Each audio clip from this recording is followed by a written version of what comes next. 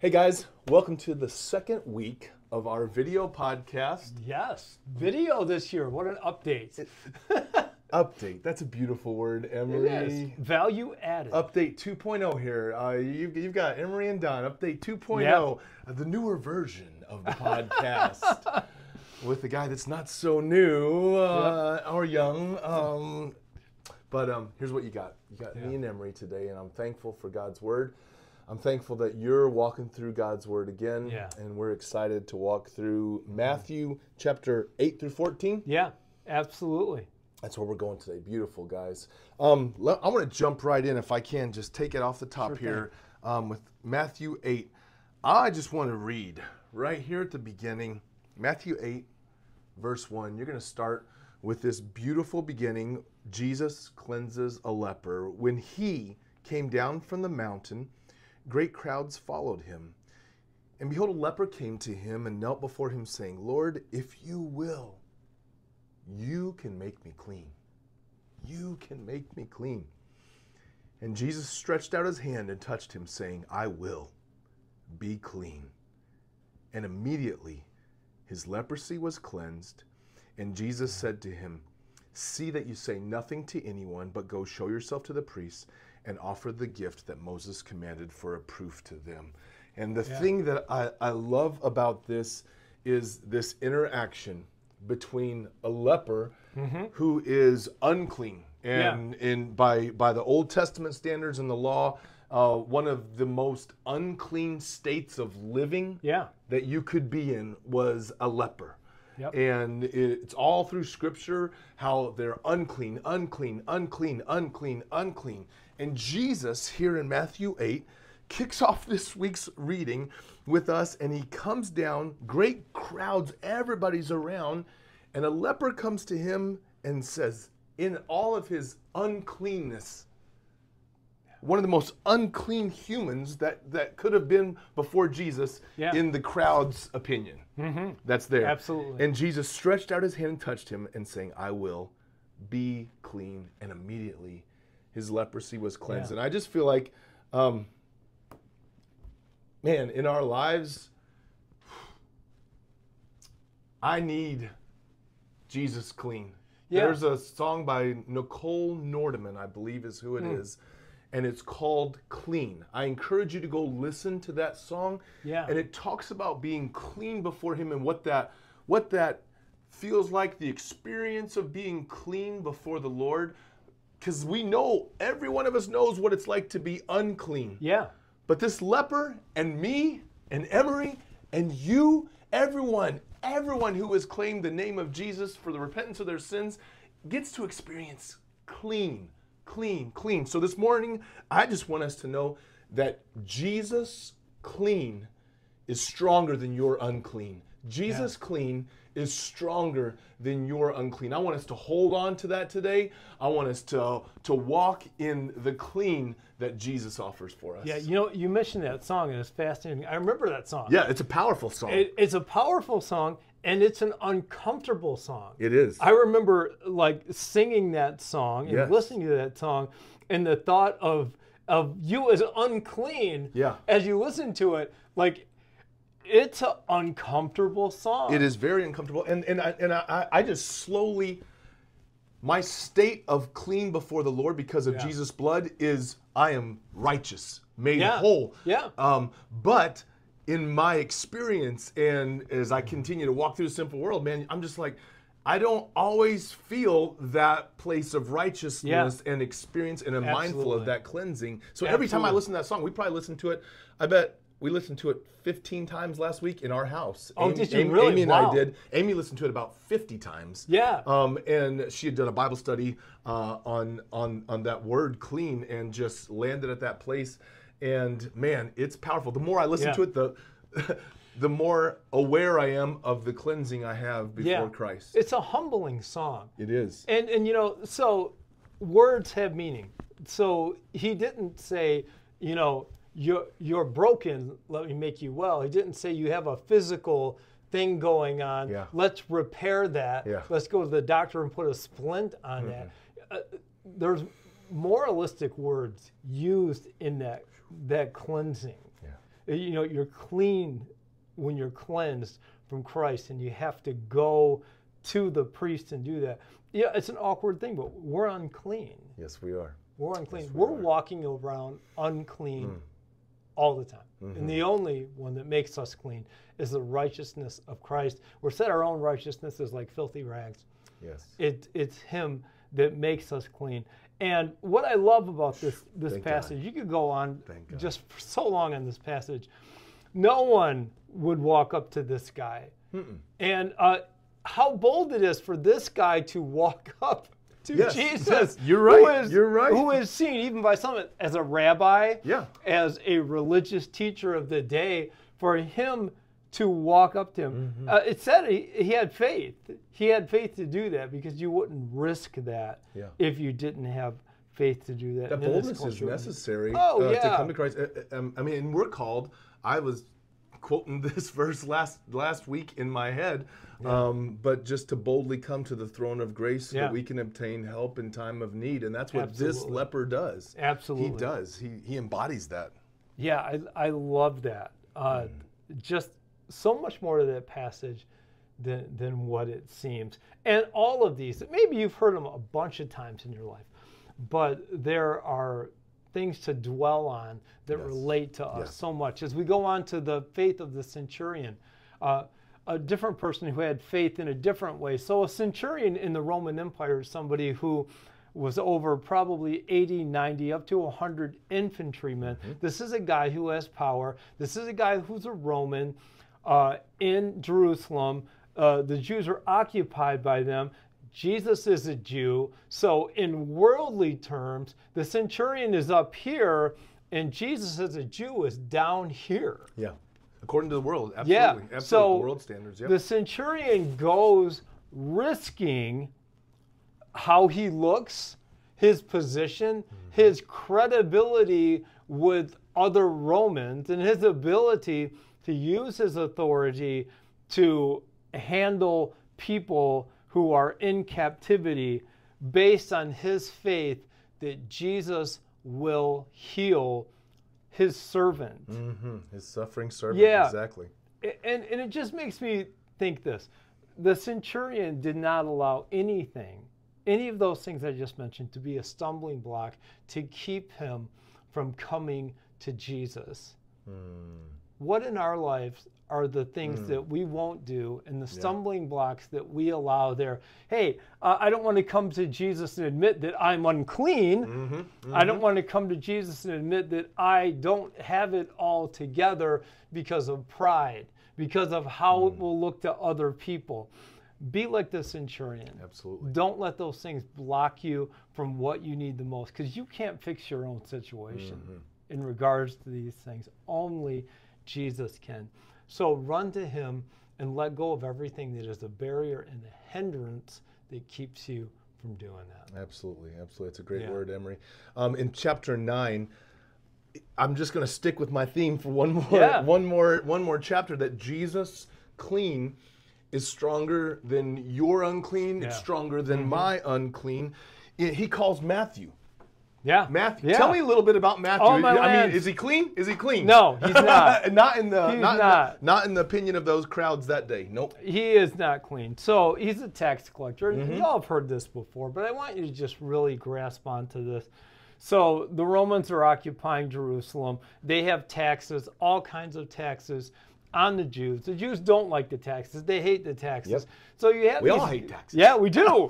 Nothing changes. right? So you have these Nothing guys, the old sun. school word called publicans. Publicans are guys that go to the Romans and for a- an amount of money, they get a area that they're in charge of that they can collect the taxes. Whatever they get over and above, they get to keep. And then those guys, the publicans, they go and hire people like Matthew, who is Jewish, and he's going to go set up his booth, his tax collector booth, and they're required to go to them. But they're coming to Matthew, who is one of their own, but he's a representative of the Romans. They are so despised. Yeah. They are the least of the least. Look, the Pharisees, the Sadducees, all these guys, they look down on a person like Matthew like there's Would you sh- would you share with the audience? I loved it when we were meeting before uh, in, in preparation for the podcast. Emery had a great. Uh, uh, maybe a modern day illustration Yeah. of if we were sitting with our tax collector. Absolutely. 'cause I got a, I got a tax guy out in Yeah. Schroeder. Sh- shout out to you in Flat Rock, uh, Yeah. Schroeder. I love you. He does my taxes. Does a great Awesome. job. But give give me your Yeah. illustration for the group. So what if you went to your tax guy who this. represents you Yes. before the U.S. government? Yes. And he said, "Hey, here's the deal. You owe X amount, but you know, I'm going to make it twice that much Mm-hmm. because I can. Yep. Because you have to come to me and you have to pay it, and so he's telling you now." How much in addition you're gonna have to pay, and you're sitting across the desk from? How do you feel? Like Exactly, you're gonna be like, exactly. "Hey, no, wait a minute, Right. I owe X," and he's gonna be, "No, you owe twice that." Right. Why? As much as I because I said so. Yes. As much as I like Alton, if Yeah. he did that to me, don't do that to me, Alton. Yeah. if he did that And to me, wouldn't do that for you, No, right? Alton wouldn't do that to me. Alton Yes. loves me, and he's an honest man. Yeah. But but that's the way it was for these Yeah. tax collectors in this day. And in chapter nine, you find um, here as Jesus passed on, he calls Matthew, says, "Follow me." And as Jesus reclined at the table, behold, many tax collectors. Yeah. So you don't Oh, just yeah. have Matthew. You got a whole slew of these dudes Yeah. that are hated by the by the Yeah. crowds of that are following Jesus, and sinners came and were reclining with Jesus Yeah. and his disciples. And when the Pharisees saw this, they said to his disciples, "Why does your teacher eat with tax collectors and sinners? Yeah. Why? Why? Mm-hmm. Why? Why?" And when he heard it, he said, Those who are well, Jesus said, those who are well have no need of a physician, but those who are sick. Yeah. Those who are sick. Those who are well have no need of a physician, but those who are sick. Go and learn what this means. I desire mercy and not sacrifice, for I came not to call the righteous, Yeah. but sinners. Jesus Absolutely. said, These are the guys that I can't, these are the men and women and children. These Yeah. these are they who I have come for. And Yeah. it's just whoever recognizes their sinfulness. Yeah. You can't, it's impossible to come to Jesus if we Yeah, don't, if you don't recognize, recognize our sinfulness. It was true in Jesus' day in Matthew 9. It's true in our day right now. That one of the first steps in, in, in coming to have a right relationship with Jesus is a recognize of my sinfulness. And, and this, uh, I will say t- to recognize your sinfulness, and one more time, that you reach out and you just say, Jesus is clean is stronger Yeah. than your unclean. Jesus Yeah. is clean is stronger than your unclean. Absolutely. Hey, there's a twist in here. So he's saying that to the Pharisees.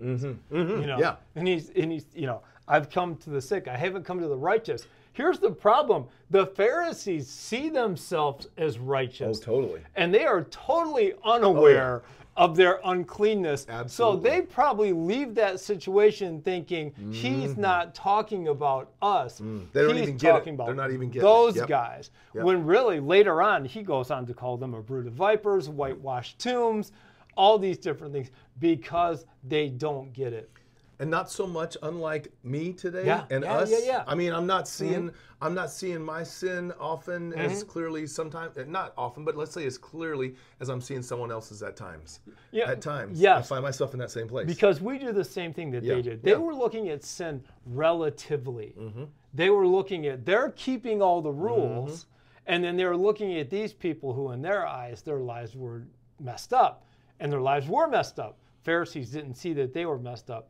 Hey, this can happen to us as church people any day. The minute you start thinking, well, I'm a, church folk, I'm a Mm, Jesus follower, you know, I'm not like them then you cross into that line. Every one of us, every Mm. Yes, day, yes. needs the grace and mercy and forgiveness Yes. of Jesus Christ because on our own, we are unclean. Absolutely. Absolutely.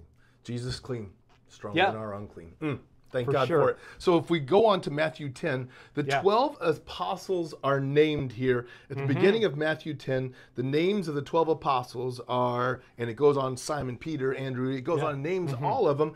An apostle is from the, this word apostle is from the Greek word apostolos. Yep. And its definition is an authorized representative or emissary Mm-hmm. whose word has its authority of the sender. So Yes. this is an authorized representative or emissary, and the word that the apostles speak has the authority of Jesus' Yeah. words. Absolutely. Mm-hmm. Uh, they're not operating on their own authority. They're operating Yes. on His authority, and it goes into that. Fur- that word further means a messenger. Well, a messenger is someone who Yes. is giving someone else's message, and someone who is sent, a sent one. They're sent Mm-hmm. by Jesus to the world. Absolutely. And they carried his power. Then they went out and he sent them out. And it was this is a, a really unique thing. When I see it, I I I don't bristle. It's not that strong. Mm. But I, I don't feel good whenever he sends them out Yeah. to the lost sheep of Israel. So they're going to the Jews. They're not, and I'm Yeah. not. I'm not a Jew. Nope. And so if they would not have been coming to Don Myers No. in that instance. The Jesus sends them out to the lost sheep of Yeah. Israel initially, and he's reaching out to them. And you'll see a little bit later, um, man, in chapter 11, um, in verse 20, that there's unrepentant cities. The cities that Yeah. Jesus sent these apostles to, they didn't receive his message. Right. They didn't Right. receive his forgiveness. They didn't receive the truth of who he said he was, the authority that he claimed to be the Son of God. They Yeah. didn't receive any of that. And so Jesus, um, when he saw, when they saw his miracles, when they saw the miracles of Jesus, they didn't believe because that's one of the purposes of the miracles Mm-hmm. Yeah. is to validate that Jesus is one of the validations, Yes, yes, that Jesus is who he says he is. But the culture saw Jesus' miracles, and Jesus says in verse 20 of chapter 11, he says, Woe to you, unrepentant cities. Yeah. And I always think, man, what did these cities do? I mean, they saw miracles because sometimes I'm like, man, God, if you'll just do a miracle, if you'll just, if you will just do a miracle today, and man, the, Yeah. the whole world would come to you. Mm-hmm. But these people saw the miracles of Jesus, and what did they do to Jesus? They crucified him. Absolutely. They crucified him. That's Absolutely. That's so. So I don't believe we're just like I've said uh, here three minutes ago. I don't think Yeah. we're that much different than the people we see on the pages of Scripture Absolutely. here. That we wouldn't respond to a miracle. Yeah, you know, if that weren't true, it would be that Jesus had done something for us in life, and then for the rest of our life, we just had faith that every situation he would do the same thing. Mm-hmm. But you and I both know we have a history of God doing things for us, and then six months later, in our brain, we act like we're wondering if Yeah. if He's going Yeah. to do Right. something. Are you there? Where are you, Lord? When, when we have this history, it's, it's one of the reasons I believe why in the Old Testament they're told repeatedly, remember, remember, remember. You know, Mm, remember whether, whether you write it down, whether you put it on your tassels, whether you put it on your doorpost. Yes. Remember, remember, because people like me forget what Absolutely. he has People done. like Don Myers forget. And can I just say this as the worship leader here at Kirby Church, uh, as one of the one of the worship leaders, we have we have a whole st- uh, stage of worship leaders, and and but I want to say this. Remembering is so important, and I think listening to worship music is one of the ways Yeah. that we remember. Absolutely. Is sometimes I have to sing those songs in faith, and I have to remember the goodness of God. I have to Yeah. remember who God has been. I have to remember that it's the same God uh, that that that's uh, operating today that Yeah. we see here revealed on the pages of the Holy Scriptures. Yeah, That's powerful. We live in a world that tries to orient us away from who we are in Christ and what Christ has done. Uh, something as simple as worship music reminds us of the Yeah. themes of God and the history that we have with Him along the way. That's that's awesome. I Absolutely, absolutely. I love it. Well, we've gone almost 20 minutes, Emery. I want to Wow. I want to give one little something, and then let you then let you wrap it up here. Yeah. Um, there is an issue. If I, I I've got to skip a little because I'm going to honor our time. But Yeah. man, in Matthew 13, and Emery, you you land wherever you want to land. Okay, I will. In Matthew 13 in verse 58, I see some I see some very sad words here in Scripture. Um, Jesus is in his hometown, Nazareth. And if you feel welcomed anywhere, it should be kind of kind of Yeah. your home, your hometown. This is uh, this is your place. And they took offense at him in verse 57. But Jesus said to them, A prophet is not without honor except in his hometown Yeah. and in his own household. What a, what a sad statement. And he, Jesus, did not do many mighty works there because of their unbelief. Yeah. And so for some reason that is it it is a, a bit of a mystery Mm-hmm. the sovereign all-powerful god of the world uh, calls for some faith and some belief Yeah. before he releases his uh, power authority Yeah. um, his action but sometimes before he acts there is uh, before he gives us forgiveness of sins Yeah. he there has to We be ask- our we repentance. We have to We have to recognize back to the beginning. We have to recognize that Jesus's Jesus' Yeah. clean is stronger than our Absolutely. unclean, That and so has that has to happen. And then it's like the catalyst that releases it releases everything else that Yeah. that flows out, and the power of Jesus' forgiving power, His healing power, whatever whatever Mm-hmm. is is is being held there. Um, there is a place that says our belief um, has a role to play in that. Absolutely, it does. Absolutely. Um, I want to close with this. I want Yes. so we have this moment of uh, of Peter getting out of the boat and what of, Mm. you know. So we get on Peter a lot. We do. We, We do. We hammer the guy. We hammer the guy, and it, and like like we're any better. Mm. Like like we would The guy. would we he- be as good? I'm saying he walked on water. Yeah. He he did it. He, he did got out of the boat. Nobody else got out of the boat. He got it. Yeah. out of the boat I don't know if I would have been one to get out of the boat. And so he's an amazing guy, amazing Jesus follower. Uh, but he takes his eyes off Jesus and he looks at the waves, and the result of that is he starts to focus on the problem instead uh, of the one that he should be focusing on. Uh, it just reminds me of this. You know, being a Christian is about a relationship, and relationships are day to day things. You can't live on yesterday's faith. Yeah. You can't live on, on things that happened five years ago. Every day it's fresh. Walking with Jesus. You have a choice every day. Do I look at Jesus or do I look at the waves?